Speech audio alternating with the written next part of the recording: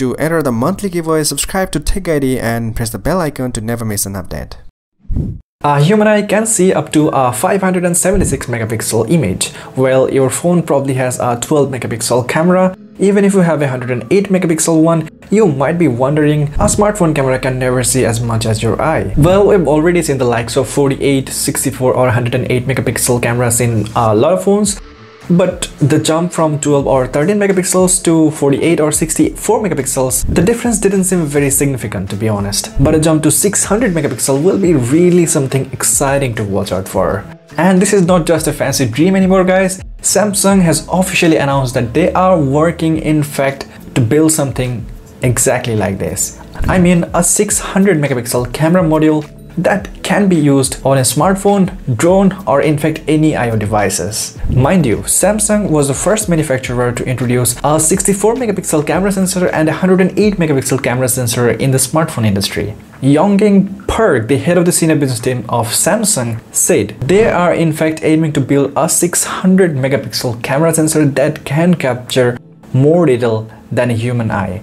Now before we talk about possibilities, let's talk about problems. As you can see here guys, in very simple terms, the higher the megapixel, the larger the image sensor. So with the current technology available, if Samsung tries to make a 600 megapixel camera sensor, the sensor will be so huge in size that it will probably not fit inside a smartphone body. So to achieve a smaller size 600 megapixel sensor, Samsung will have to actually reduce the individual pixel size inside the 600 megapixel sensor.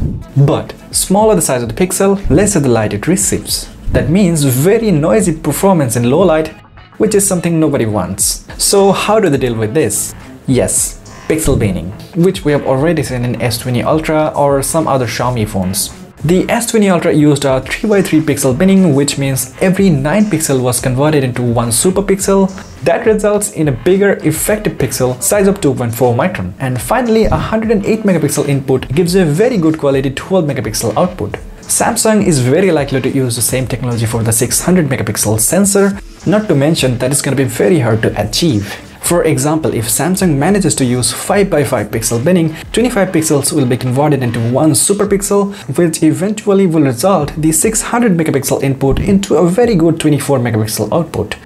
We can already imagine the ridiculous amount of detail the sensor will be able to capture is insane.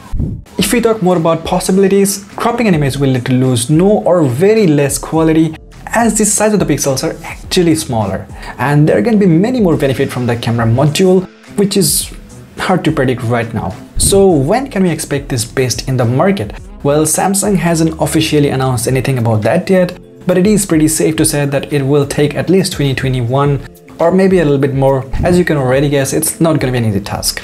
Well, some of you nerds are going to be complaining now that megapixels count doesn't really matter and these are just crazy marketing terms. Well, that's not completely true.